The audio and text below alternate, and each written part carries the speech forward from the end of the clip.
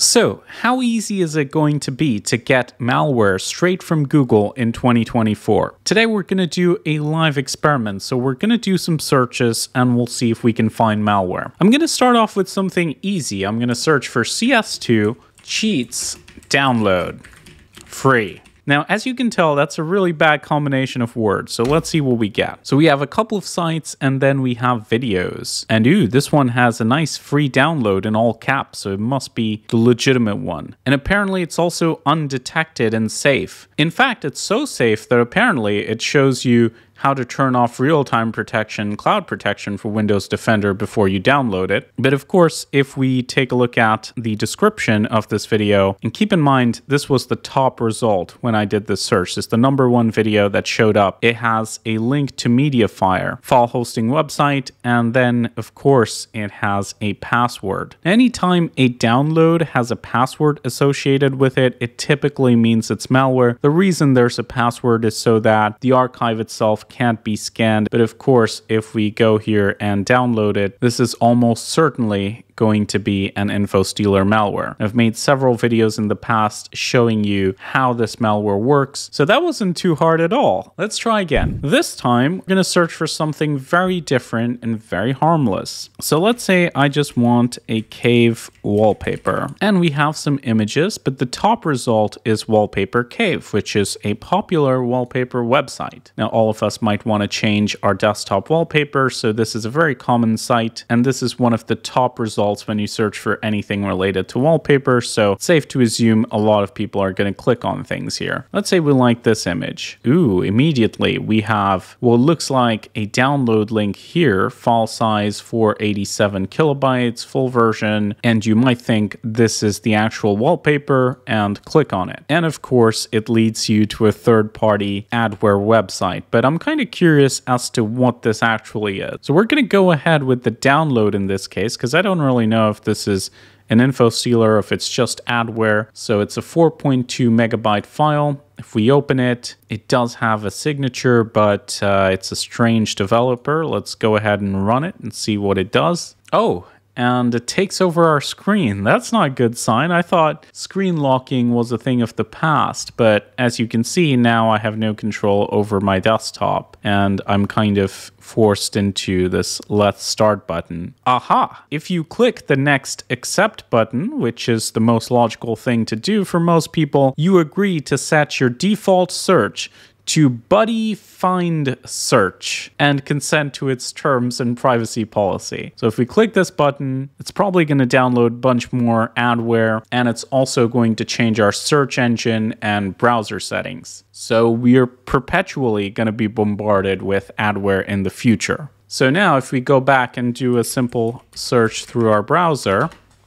we're somehow on yahoo.com, but I did see a redirect from the um, BuddyFind website, which is probably tracking all of our search queries and selling it to China. So that's great, two for two. So we managed quite a lot with just two Google searches. Now I know what you might be thinking. Those are some odd search queries. I'm not going to do those searches. Plus, I'm not going to download applications. The only software I really need to download on my system might be my GPU drivers and maybe OBS Studio. Well, here's some good news for you. You're not going to be left out. There've been several campaigns where malware authors essentially buy ads on Google to replace top searches. So for example, if you search for AMD graphics drivers or something like that, you're going to see a result that kind of looks like AMD drivers. You can see the actual URL is www.amd something, and the rest of the description looks exactly the same, but actually, this is a malware website which again is going to install an info stealer on your computer if you run whatever driver that they give you. Here's a similar result for Blender, a popular 3D animation software. And if you take a look at the website that these ads lead to, they look just like the legitimate website. They're exactly the same because they're pretty much copy pasted. The only difference difference is the download link. And even the setup programs often look exactly the same and they're also pretty large in size. You can see this installer is almost 700 megabytes. And the way they do that is they actually fill in a lot of junk data inside the application. They may even have a nice GUI with the setup, but in the background, of course, they're going to run some kind of command prompt application that's actually doing the info stealing. Try to download this on your new laptop and boom, all of a sudden, all your online accounts, including your YouTube, is hacked. Oh, and I did make a video about the OBS Studio incident, and that was almost a year ago.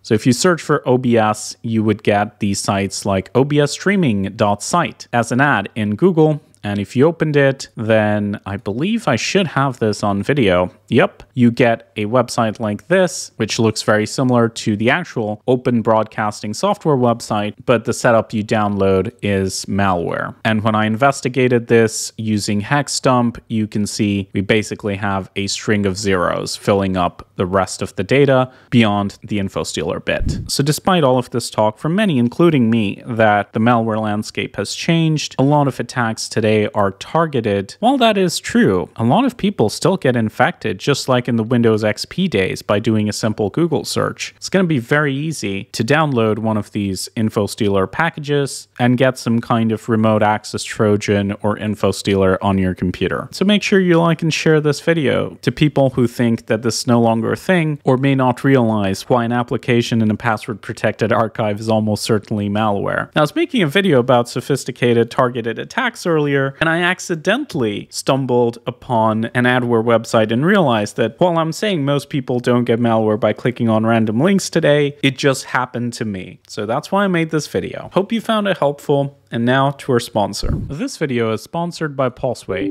a remote monitoring and management tool that you can use to automate the maintenance of all of your systems. A very simple agent, and this connects with their management portal which is going to give you a custom interface to look at all the systems that you have. You can have workstations, servers, network devices, and different operating systems on Windows, Mac, or Linux. And for all of them, you can do basic automation scripts like checking and installing updates, making sure they are running at the correct time, cleaning up temporary files, the browser cache, system restore points, running your backups. You've also got a patch management system as well as a third party integrations, and you could also install endpoint protection like Bitdefender and manage it via this interface. You can also create your own tasks, set up custom notifications, for example, if we want to install updates, as well as check for system time, clear the browser cache, we can create a specific task, save it, and do that on all of our systems. So if you're managing a large number of systems, or you're the IT guy at your company, check out Pulseway. You can try them for free using the link in description. You can also get 40 percent off all their plans until July. So try them out, show them some love for supporting the PC Security channel. This is Leo. Thank you so much for watching. And as always, stay informed,